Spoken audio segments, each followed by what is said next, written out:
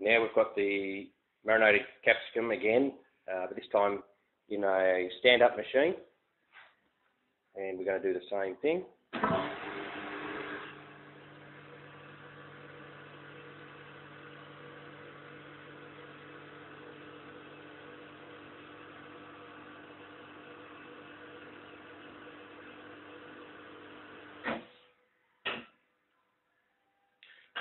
and when it bubbles and boils, well, it will rise a bit, but uh,